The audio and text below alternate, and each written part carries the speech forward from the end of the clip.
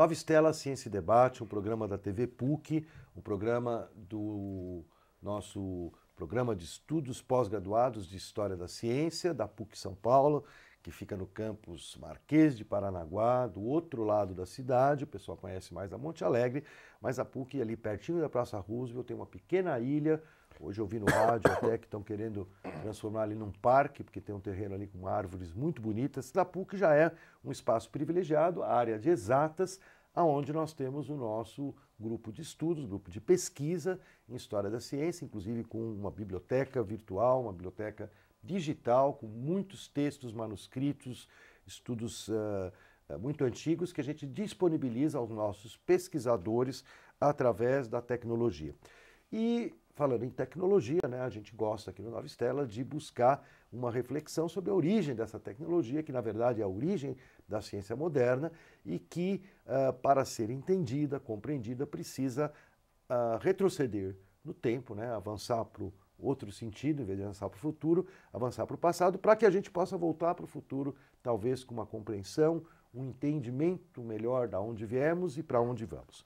Temos hoje aqui um convidado especialíssimo, um convidado até diferenciado, né? o professor Alexandre Leone, doutor pela USP, ele é pós-doutorando atualmente uh, pela FAPESP, lá na USP, e no Centro de Estudos Judaicos, e que também é rabino. Né? Hoje em dia nós estamos abrindo aqui na PUC a Cátedra de Cultura Judaica.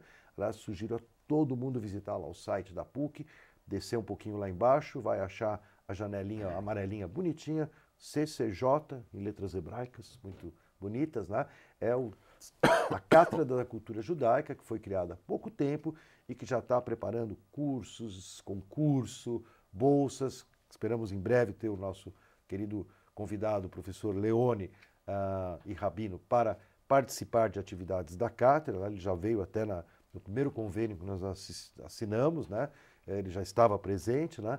E hoje nós queremos aproveitar a visita do professor Leone à PUC para tratar um tema uh, que, para mim, né, como historiador da ciência, é de extrema, extrema importância, porque se hoje, né, qualquer um que vai se preparar para o vestibular aprende lá a fórmula da velocidade, V igual a V0, mais uh, AT, né, a fórmula da velocidade, a fórmula do espaço, né? A gente pensa que tudo é tão simples, põe numa maquininha, já tem o resultado, ou liga o carro, vê o velocímetro, né? Na verdade, temas como espaço, tempo, conceitos mais fundamentais da física, né, como a gente chama hoje em dia, têm raízes que vão muito além né, da, da modernidade, vão muito além da renascença, né, onde a gente considera que renasceu, né, então estava morto. Né? E, na verdade, a gente tem um período uh, muito interessante, que o professor Leone, inclusive, já esteve conosco aqui no Nova Estela abordando né, a Idade Média. E não foi só o professor Leone, tivemos o professor Carlos Arthur Nascimento, aqui da PUC, que estudou muito a Idade Média. E uh, hoje uh, o tema que eu gostaria que o professor Leone abordasse para nós né, é justamente um tema, como eu falei, é muito caro para mim como historiador da física, que é o termo que relaciona alguns conceitos muito importantes e que tem uma história né, de, de, acontecimento, né, a gente tem uma história também dos, dos conceitos, né, que é o conceito de infinito, o conceito de vazio, o conceito de lugar, né, que aparece na tradição judaico, uh, islâmica, né, num, num, outro viés da história do pensamento, tanto filosófico como científico, né, e que muitas vezes a gente, nosso grande público, mesmo nosso grande público mais intelectualizado, com mais leitura, desconhece. Né? Então, muito bem-vindo, professor Leone. Obrigado. E vamos tentar entender um pouco da onde vem esse debate, qual é o debate em torno do tema do infinito. Olha, Zé Luiz, é, muito obrigado pelo convite. É, eu, o que eu posso fazer aqui é traçar uma trajetória da onde esse debate aconteceu. Não é a única trajetória, mas é uma trajetória bastante importante para os desdobramentos que vieram depois, especialmente nos, a partir do século XVII.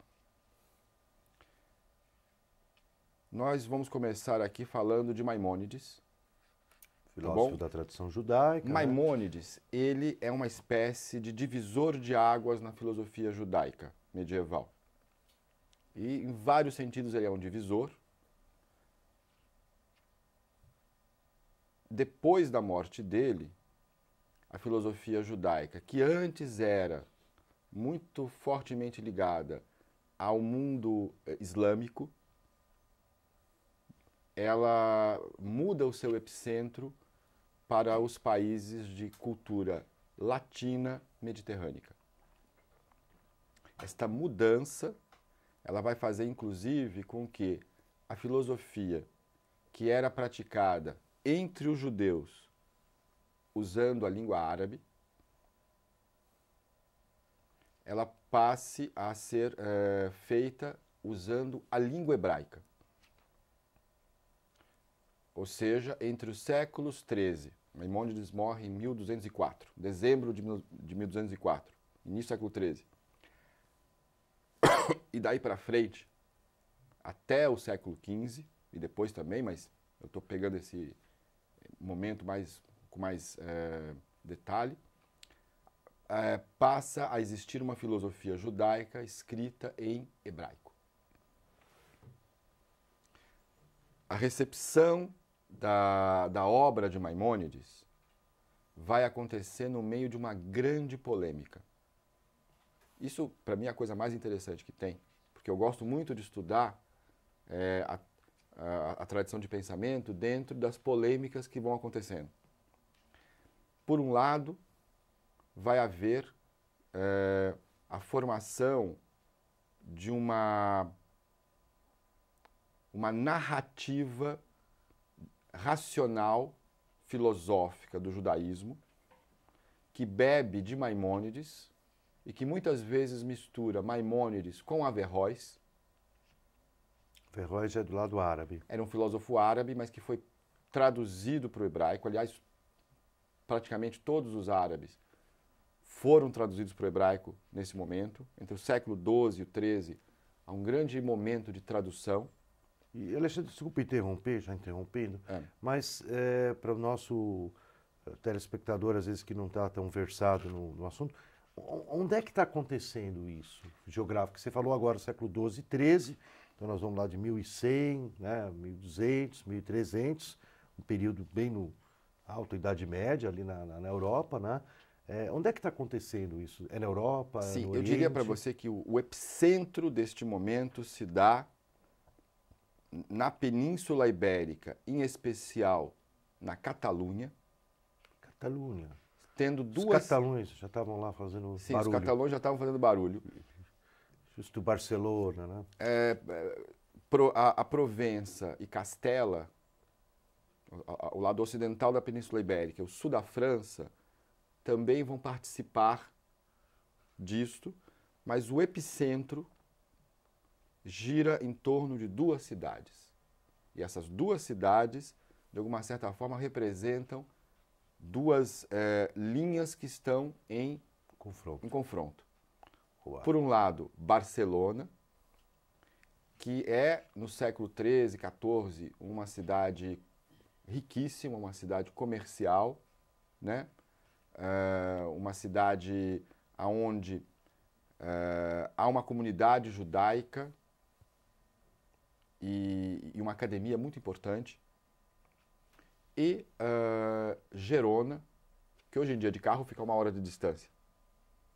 Né? Gerona, uma cidade é, no alto da montanha, então uma está no mar, a outra na montanha. Gerona, uma cidade bem menor, uma cidade talvez mais é, mais sisuda, aonde nesse período se centra uh, uma famosa escola de cabala, de, de mística judaica, que foi conhecida depois como o Círculo de Gerona.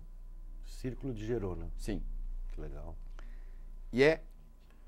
Para quem só para localizar no mapa, né?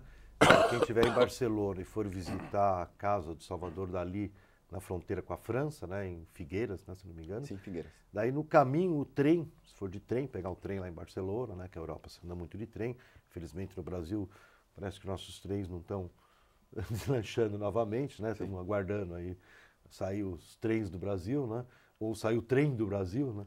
Mas o, você pegar o trem em Barcelona, o trem faz uma parada. Né? Essa parada é exatamente em, em Gerona. Em Gerona. Eu, eu tive a oportunidade uma vez, sabendo da história que o professor Alexandre está uh, eh, nos relatando, na volta eu acabei trocando o meu ticket e tal, eu desci em Gerona, em vez de seguir, né, só fazer a parada, para poder conhecer essa área judaica, que realmente é muito grande, muito bonita, e que agora, né, na época que eu fui, nos anos 80, não era tanto, não estava de moda. Né?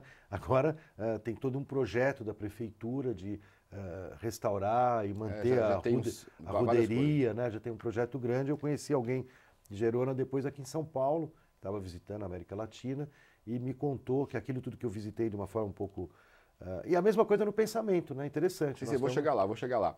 Uh, Gerona e, e, Barcelona, por assim dizer, eles materializam essas, essa, essas duas correntes, a corrente filosófico-aristotélica, que bebe de Maimônides e bebe de Averroes, bastante, né? cujos eu vou dar dois nomes que são grandes representantes dessa corrente. É, depois de Maimônides, é Gersônides, um cientista medieval, né? e Moisés é, um averroísta judeu. Né? E uh, do lado do misticismo, uh, Asriel de Gerona, uh, lá em Castela, Moisés uh, de León, né? é a época, inclusive, que vai ser gestado, do lado místico, esse famoso livro que depois se tornou o principal livro da Cabala Judaica, o Zohar. Então vamos, vamos fazer um parênteses aqui, uhum. porque o nosso ouvinte uh, não pode perder essa oportunidade. Então, uh, a gente conhece da tradição judaica, todo mundo conhece, né? não precisa nem ser teólogo, especialista. A gente tem a Bíblia, né? todo mundo conhece, é, vários textos interpretativos da Bíblia, mas são textos mais antigos, né? Sim. E de repente nós estamos em plena Idade Média, estamos em 1100, 1200, como o professor Alexandre nos diz, e surge uma obra muito importante que é o Zohar, né? O Zohar é o livro do do esplendor. Do esplendor, né? É uma obra uh, extensa, né? E que nessa época ela acaba sendo consolidada, né? Ela, ela é atribuída até o redator dela seria, que você já mencionou, o Moisés de Leon de Castela, né? Sim. E que atribui a obra a, a Shimon Bar Yochai, um rabino do século II. Exato, mas eu digo assim, mas ele, ele vive nesse período e ele então é o redator, ele assina, né? Ele fala, ó, tá aqui o, o livro Zoa, sim, sim. que até hoje eh, as pessoas podem pela internet pesquisar, existem Claro que a versão completa são vários livros, né? São 24 mas, livros, na 24 verdade. livros, mas que as pessoas encontram uh, em pequenas seleções, né? Aqui no Brasil, em Portugal, então tem, é possível conhecer o Zoa. Mas desculpa esse parênteses, é só para uh, aproveitar a riqueza aqui da, da nossa interação do então, programa Só para assim, ser talvez um pouco mais certinho nisso, na época em que Moisés de Leão edita o Zoar, o Zoar não aparece como um livro ele aparece em fascículos ao longo de muitos anos. Uau. E ele é chamado de Midrash de Rabi, é, de Rabi Shimon. Tá bom? E aparece inclusive em versões. Só vai se consolidar enquanto um livro único na versão impressa no século XVI. Mas ele está circulando lá. Assim como está circulando um livro mais antigo, que é o Sefer Yetzirah, do qual muitos vão fazer comentários. E está circulando também um, um outro livro chamado Abahir, que aparece na Provença final do século XII. Tá bom?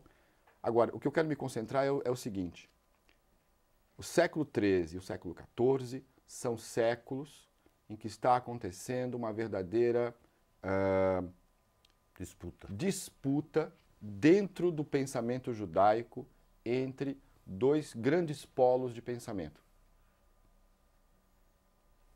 Bom para temática. Essa disputa às vezes chega a, ser tão forte que uh, a, a, as palavras ficam muito fortes entre eles, há, há banimentos, há tentativas de banimento da filosofia e assim vai.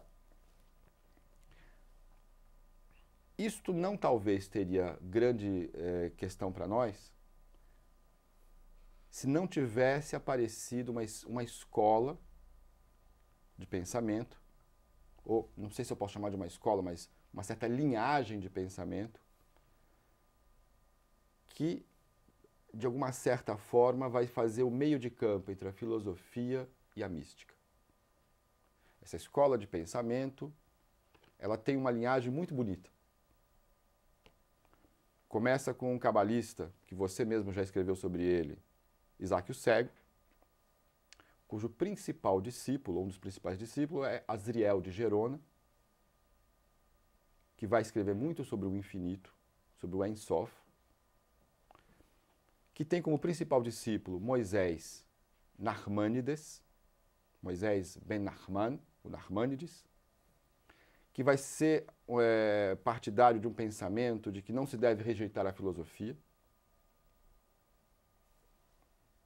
que vai ter como um dos seus principais discípulos Nissim Geronde, um grande talmudista, e que vai se mudar de Gerona para Barcelona, que vai ter como um dos seus principais discípulos Hasdai Crescas. Hasdai Crescas. Crescas. Crescas. Chegamos no Crescas. Chegamos no Crescas. Crescas, é, no livro que ele escreveu no início do século XV, Or Hashem, Luz de Deus. a luz do eterno, né? Luz Esse- do nome. a luz do nome, Eu gosto. né? É, Fica mais bonito de falar assim, né? É. Na tradução francesa recentemente aparecida, é, ficou Lumière euh, de l'éternel, a luz do eterno, porque esse o nome é, é o tetragrama, né? Uhum. Ele É escreve um nome impronunciável. um nome como- impronunciável, Como diria o, o, o Haroldo de Campos, inominável. o inominável. Então, ele, na, no início do Or Hashem, faz a crítica do Guia dos Perplexos de Maimônides. Nossa. e faz a crítica das 26 proposições que aparecem na segunda parte do guia e faz uma crítica assim. Primeiro, ele apresenta a- as 26 proposições, apresenta como elas são interpretadas na filosofia da, da época, pelos filósofos eh, da escola eh, averroísta maimoni- maimonidiana. Em seguida, ele faz a crítica, uma crítica demolidora dessas proposições, que eram a, pelas, a- a forma pelas quais Maimônides prova a existência de Deus. Portanto, ele vai solapar as provas maimonidianas da pro, que provam a existência do Deus aristotélico, totalmente transcendental.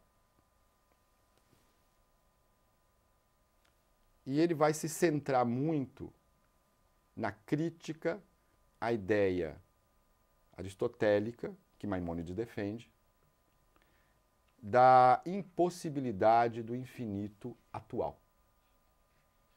Né? O aristotelismo, o aristotelismo medieval também, eh, tem como uma, Máxima.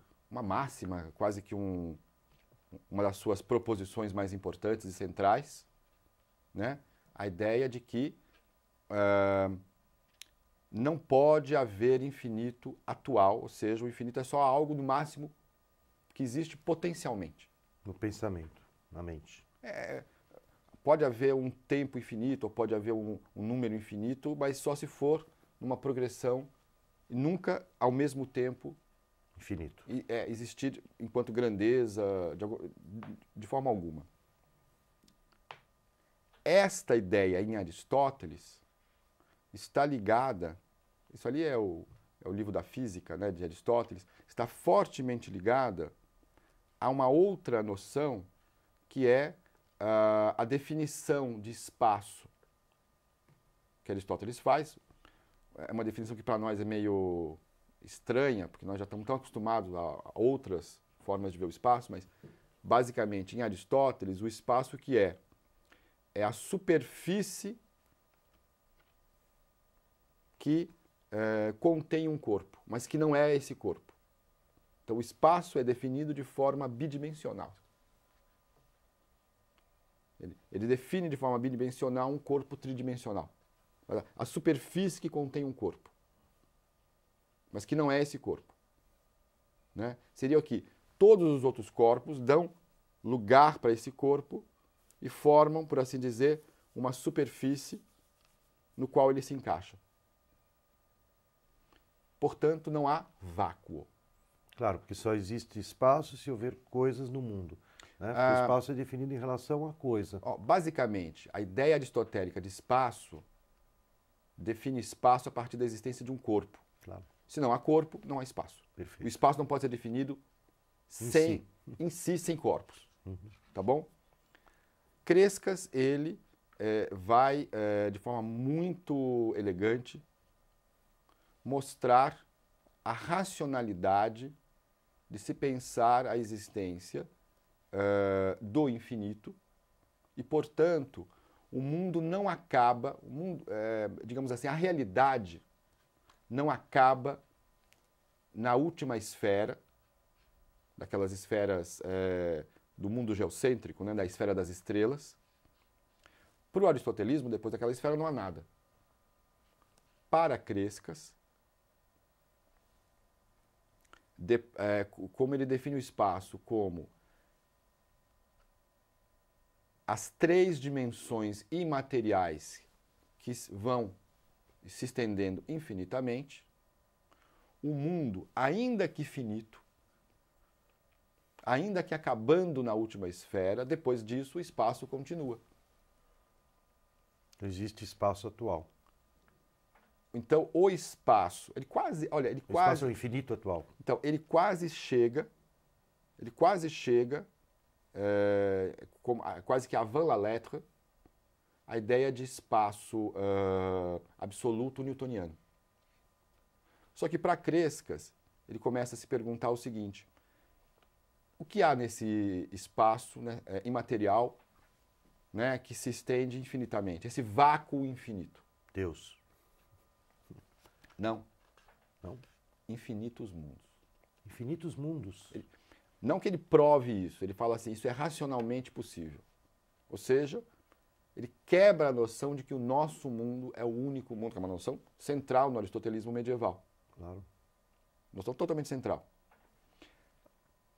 E é, redefinindo o espaço e é, enquanto as três dimensões imateriais e admitindo a hipótese do vácuo, se não dentro do mundo, certamente fora do mundo,